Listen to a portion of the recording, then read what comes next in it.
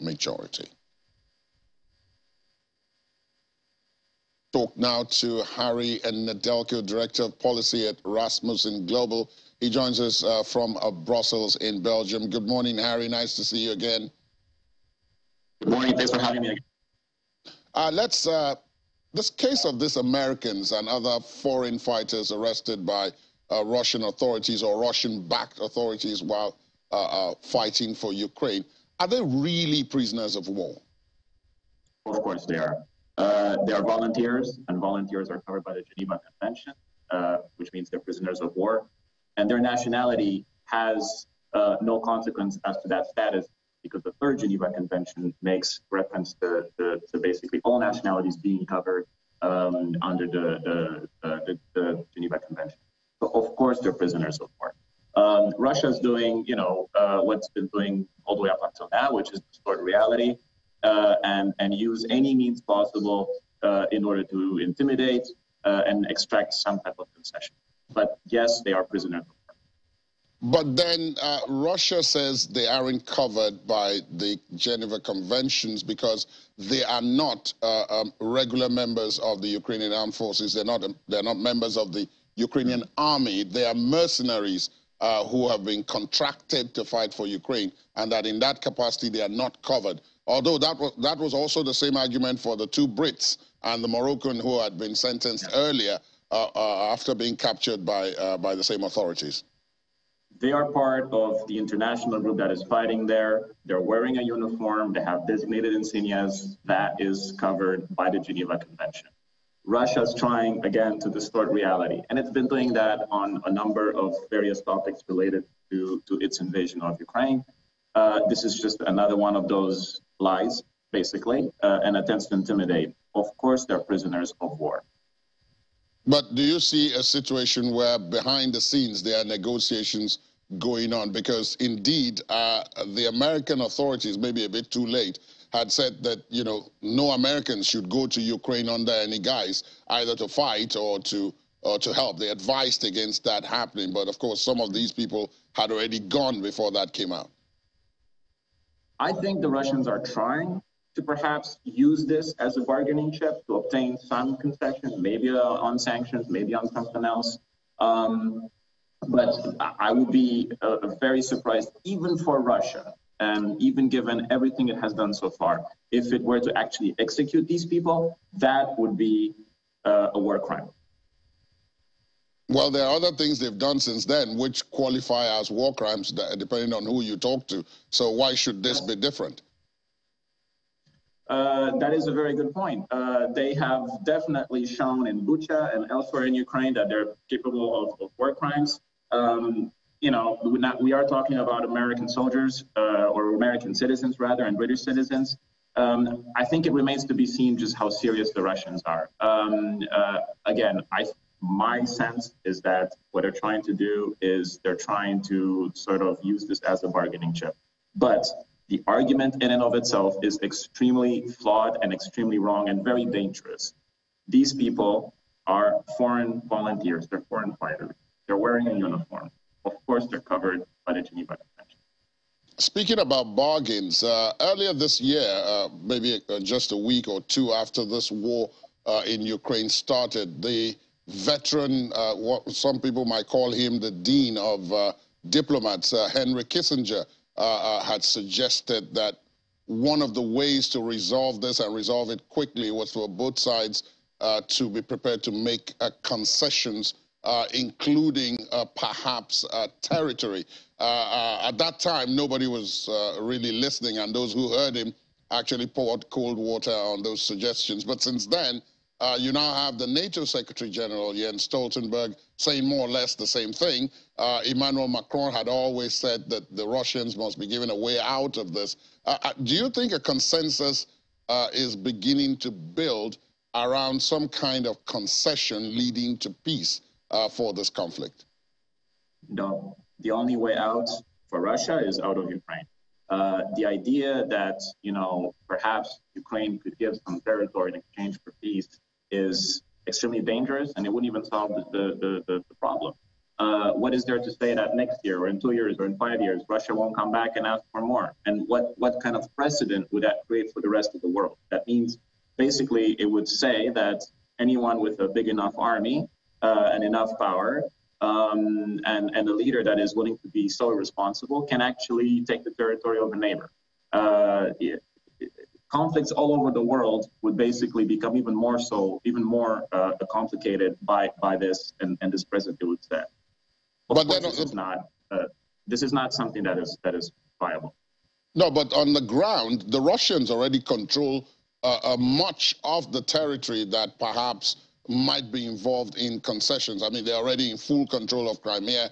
Um, those that one has spoken to on the ground and who are looking at it, uh, uh like yourself, have said that they will soon be in full control of most, if not all, of the Donbass. And these are the critical areas that seem to be in contention right now. So the facts on the ground already support this. Um, it's just that there isn't anything on paper to back it. Well, actually, even in the Donbass, the Russians are having trouble um, uh, making any significant inroads. Even there, they're being bogged down. Um, irrelevant and irrespective of what territory they may have taken in the southern part of Ukraine. That is an invasion of this country. Russia has invaded Ukrainian territory. There's no way that any responsible government would give to an invader territory and sign a, a, treaty that would give them that territory. And it's up at, at, the end of the day, it's up to the Ukrainians to decide, you know, what a peace will look like for them.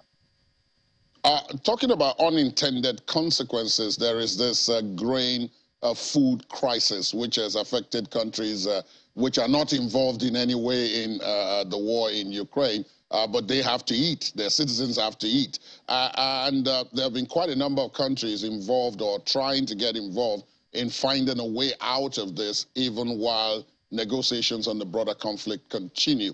Now, basically, bare bones, it comes down to this. Russia wants sanctions on its own exports of uh, uh, grain and fertilizer removed so that it leaves the blockade on Ukrainian ports so that the grains that are now rotting away in uh, Ukrainian uh, silos can be exported. How viable is this? How, how can this go on?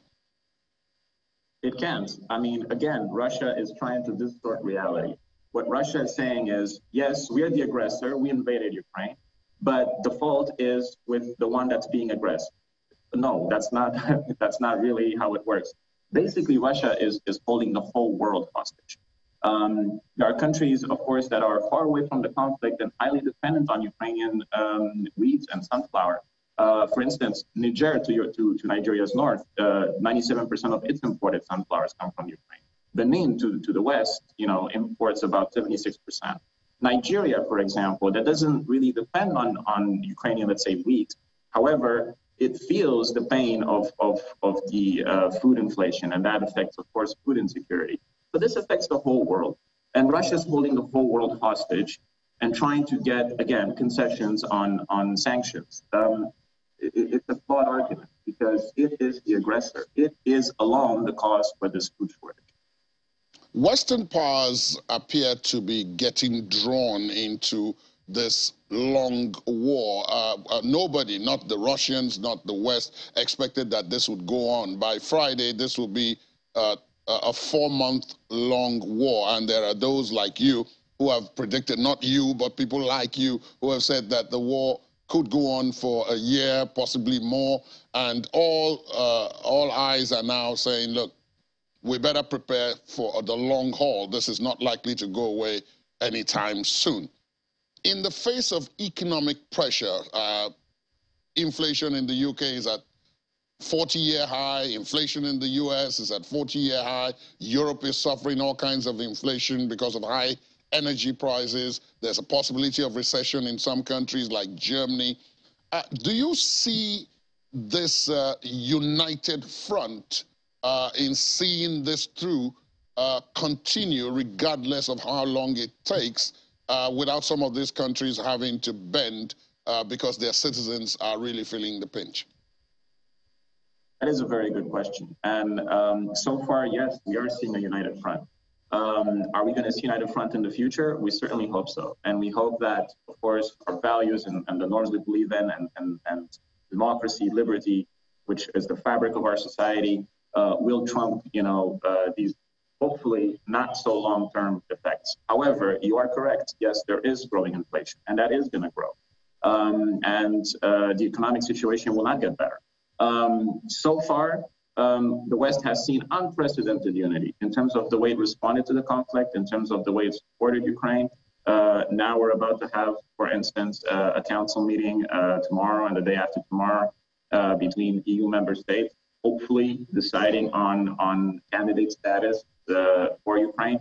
Um, but it is going to be a long conflict, and it's going to definitely test our society. Before I let you go, you are you are uh, in Belgium today. Uh, the last time I spoke to you, you were in Montreal. Uh, so I, I, guess you now have the benefit of the perspective on continental Europe. Uh, in, in, in terms of uh, looking at the public support for backing Ukraine. Uh, in Belgium, of course, Belgium hosts many of the European Union institutions. So it, it, it is a good place to feel, shall we say, European conditions. What do you think? What are you seeing on the ground in terms of the economic conditions as well as the perceptions or desires for peace and uh, on what terms? Are they broadly in line uh, with what is going on elsewhere or do people really just want to get on with their lives? I would say support in Belgium, other other European powers, as well as across the Atlantic and, and uh, the U.S. and Canada is ironclad among the population. The population is definitely behind um, of course, everybody wants peace. But I think everybody agrees that this has to be a peace that is not putting a democratic country on its knees because of an aggressor. Indeed. Uh, Harry Nedelcu, Director of Policy, Rasmussen Global, thank you for your, uh, uh, for, for your presence and for your perspective this morning. Uh, stay safe. Thank you. Thanks. After the break, Germany is on the verge of a second stage of gas standby measures. Please join us again.